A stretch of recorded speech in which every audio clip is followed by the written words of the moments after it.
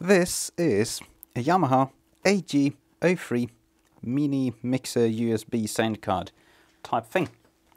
And I've taken it apart because I got one and I'm curious as to what's inside it. Uh, so a quick rundown for all the audiophiles out there. Uh, the sound chip is a Cirrus Logic CS4270, not particularly impressive. The headphone amp is an a Max 9820, difficult to find out because the chip is not labeled well. There are some JRC 062 op amps for like seemingly general purpose applications. Those are not very good. And for the audio stuff, they are using uh, JRC 2068Ds. The D class is a bit better than the normal 2068.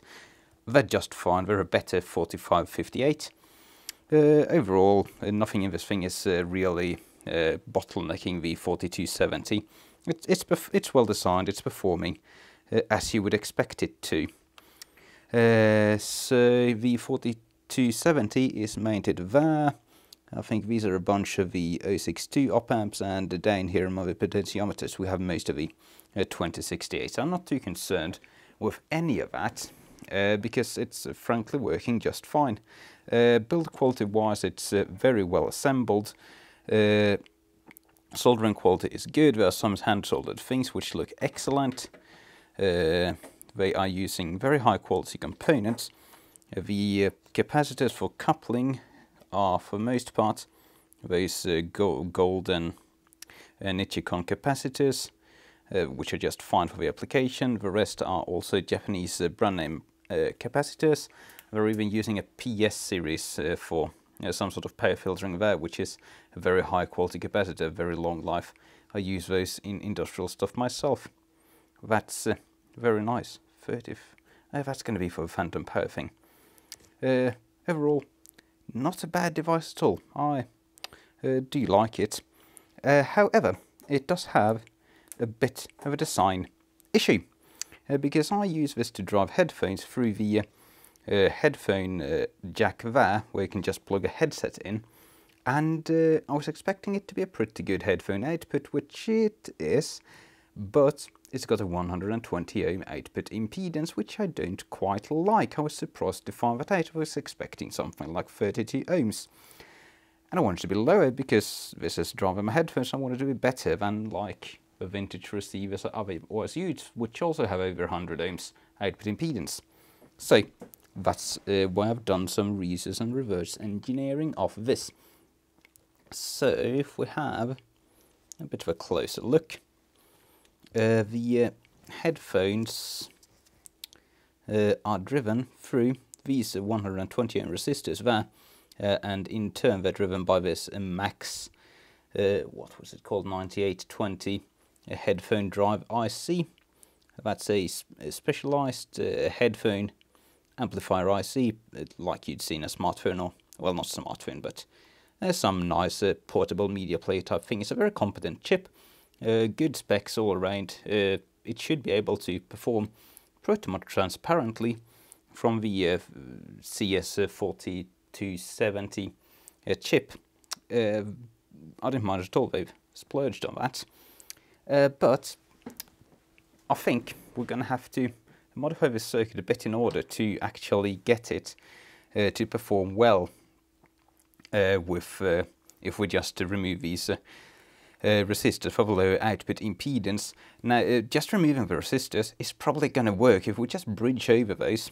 Uh, our headphone impedance is going to drop down to basically zero, and we're going to be happy.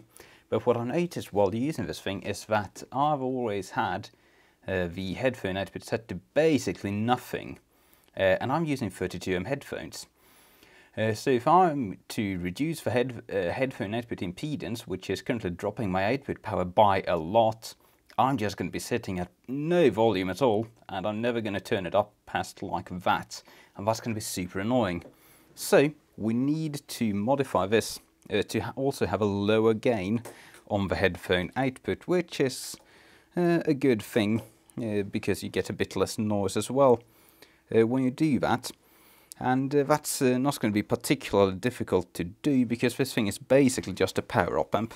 So, the gain resistors, uh, for this uh, headphone amplifier is this guy here, which is right by this capacitor, which is, seems to be just a high high uh, a high frequency filter of some sort. I think it's it's in parallel with that, so it's allowing high high frequencies to pass. Hmm. Uh, but yeah, that's the gain resistors for resistor for one of the channels, and the one for the other channel is on the other side of the board. Let's see where we are.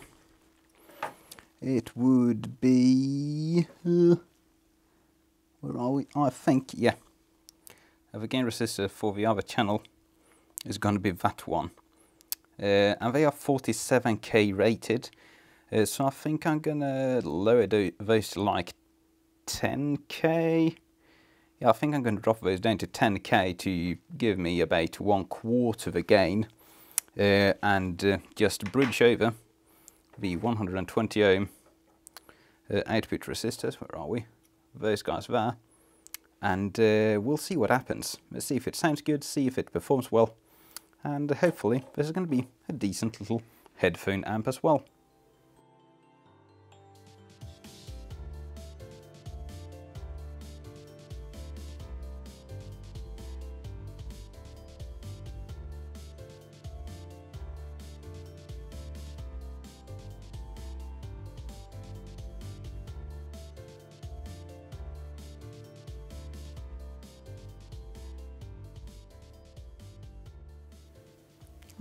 Alright, and uh, there you have one of the gain resistor modifications. Right there, we've replaced uh, the uh, original 47k resistor with uh, an L11k just because I had lots of those. Now we've done the same thing on the other side of the board. Uh, right there you can see I've put new resistor on and the 120 ohm uh, series resistors there for the headphones have been jumpered. So, uh, I've got not enough hands to do this on camera, but we'll give it a go. Uh, this goes on like, and we have a USB cord. This PC should have a right drivers installed. Let's see where the fire comes out. Uh, Oh, that's not looking happy. Okay, we'll figure that issue out. Can you perhaps spot what did it? so it turns out the uh, CPU module at the bottom actually doesn't have any ground uh, aside from the case. Uh, so if we disconnect this thing, it's just going to start oscillating and breaking apart again. Uh, and I found that out after undoing all the modifications uh, and uh, the issue still remaining. But I've redone the modifications and we're playing it right now and it's sounding reasonably good. Uh, there's some noise and distortion because the ground is completely fucked like this, but if we just do like that, you can hear that there's, there's audio coming out of it. So it uh, seems to get a bit funky uh, when you go really low uh, on the uh, gain resistors. Uh, I would imagine it's because it's got the high frequency uh, bypass cap across it and the lower value resistor, uh, the less that capacitor gets to do its job, which might make it a bit oscillating and noisy and terrible. So I settled for 16k gain resistors. Uh, and that seems to be working just fine. I can't. It, it's obviously noisy uh, when it's like out of its case, even with the original resistors. So I don't think we're seeing any performance degradation because of a modification. I think we're seeing it because it's just uh, a mess right now. Uh, but it does work. We have lower gain. Uh, I did actually try with one uh, channel with 47k, another with 24k, I believe, and uh, I verified that these indeed are adjusting the gain of the amplifier, that I'm not just placeboing myself into a corner.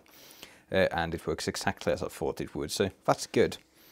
Uh, so really at this point it's just a question of uh, putting this thing back together enough to uh, give it a wee go of distortion meter uh, to see if it's actually gonna perform well at all, or if there's some quirk in this circuit that's just gonna make you bridging these guys impossible. Uh, maybe we'll have to put some like 10 ohm output resistors in there or something to smooth it out a bit. It's going to be better than 120 20 ohms uh, no matter what, that's for sure. Alright, and uh, quite a bit of experimenting later, we have this. Uh, it seems the circuit doesn't quite like having a pure uh, pass-through zero ohm output uh, impedance. It just seems to want to start to oscillate and uh, make noises and behave badly. Uh, so I've swapped out my jumpers for two 4.7 ohm resistors. So we're going to have like marginally less than that. output impedance still a lot better than 120 ohms, but uh, I think uh, real zero output impedance on this thing is a bit of a pipe dream. Uh, I've also taken some more steps to modify the uh, gain structure of the amplifier because uh, it really got uh, way too much gain uh, with the original uh, divider resistors installed. So I uh, actually did something I was trying to avoid but found myself unable to avoid. That is to swap out the 247k uh, inputted uh, gain resistors for 120k uh, and that's uh, cutting our gain down to like I don't know I didn't even do the math. Math done and uh, it seems that uh, this new configuration is putting this amplifier into a gain of about 0.13 as opposed to being unity gain that's a gain of 1 as it was from a factory. So we've cut the gain in 10 we've removed a lot of gain from this amplifier uh, in order to make up for the fact that we are uh, having a lot more gain uh, due to our lower output impedance because driving 32 ohm headphones as I am uh, the 120 ohm uh, resistors where they give they reduce your gain by a factor of about 5 so 4 fifths of your output uh, power is being dissipated in these and only one fifth in your headphones. Uh, so by re reducing this resistance, we're getting a lot more gain actually out of a headphone socket uh, with our headphones connected. Uh, and I think I'm going to leave it at here. I don't think we're we might be able to like edge a couple more ohms out of this thing, uh, but 4.7 ohms that's fine. Uh, I, I don't think we're going to see uh, much improvements from improving the damping factor even lower than that on this thing and since it seems to want to misbehave on really low output impedances I think this is a safe bet. I'll test listen to this, it seems to sound fine so uh, we'll just uh, make a little jig to hook this up to the uh, distortion analyzer and uh, we'll see if it actually performs well or if I'm hearing something terrible and telling myself it sounds good because uh, I've been putting work into it. Okay, uh, I think we've pretty much been beating a dead horse here, uh, because this thing is uh, frankly performing terrible. Um, now, I didn't measure it beforehand on the headphone output, but uh, I'm not sure this is actually my doing. Uh, the levels are a bit weird, that might be my doing, but for distortion, I don't think so. so we're putting out roughly as much as it can put out at a kilohertz right now. And uh, that would be, we're at 0.3 volts full scale, that's about 0.2 volts. Uh, any more than that and it starts clipping. We're loading this down with uh, 33 ohms here. Uh, so it really doesn't out a lot of voltage. It's uh, certainly loud enough into 32 ohm headphones. I uh, couldn't ask for more. It's too loud for me by far. so that's not a problem. But for distortion, we're on 0.1% full scale. you can see it's sitting at like 0.03 something percent, 0.038 or something. That's just not good. Uh, now I think this interface really doesn't perform much better than that actually in general. I, I don't remember, I think this has actually quite poor uh, monitor rate performance but it's low noise enough. Uh, the one thing that uh, not an issue is the noise floor. If we just uh, uh stop playing the playing sounds for it, It really isn't particularly noisy, even at... Uh, uh, no, of course it's noisy now. Why is it? Oh, we're measuring distortion, not noise. So if we give it a moment to settle, it's basically going to go right to the bottom of the scale there. Except it's not. Right, have to remember to disconnect this coat because it adds just a tiny bit of noise. There we go, uh, we, we've got like basically no noise, this is completely fine. I don't remember what the scale is for this thing, but it's it's it is just a couple of microvolts. Uh, we're at uh, 0.001 volts per division, and we are uh, 0.001 volts uh, full scale. We're at uh, just about one division value. Do the maths. I'm happy with that. It's completely inaudible. Uh, so I've also got a frequency sweep here. This is uh, 20 to 20.